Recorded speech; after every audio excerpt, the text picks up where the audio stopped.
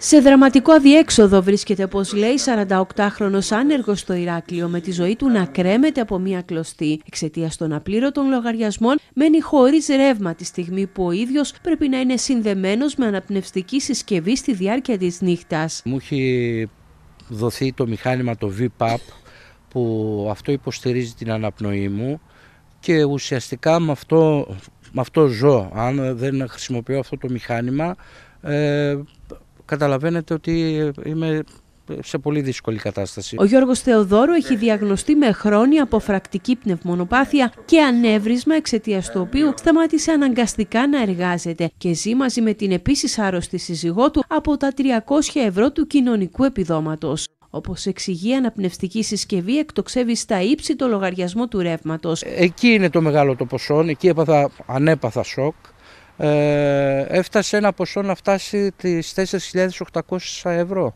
το ρεύμα.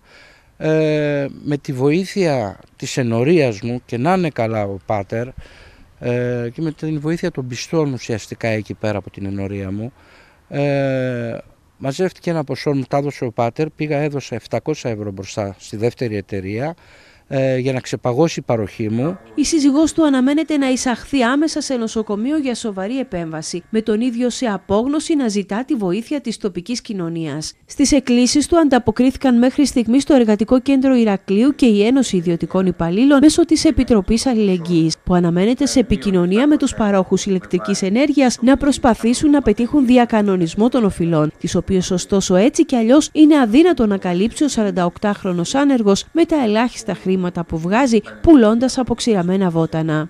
Κάτι βότανα αποξηραμένα που μου, διαχε, μου διοχετεύει ένας καλός εξαίρετος άνθρωπος ε, τα συσκευάζω και βγαίνω γύρω γύρω και τα πουλώ και προσπαθώ να αυτοσυντηρηθώ κι εγώ και η σύζυγός μου αλλά μας βρήκανε πάρα πολλά μαζεμένα. Τα στοιχεία για τις διακοπές ρεύματος σε νοικοκυριά σε όλη τη χώρα σοκάρουν. Έως το τέλος του 2022 είχαν δοθεί 430 εντολές για διακοπές ρεύματος, ενώ εκτιμάται ότι πάνω από 22.000 διακοπές αφορούν στην Κρήτη. Κινδυνεύει η ζωή μου αν ε, μου κλείσουν το, το ρεύμα, δεν υπάρχει περίπτωση να μπορέσω να, να ζήσω. Ενώ έκκληση προς τους συνανθρώπους μου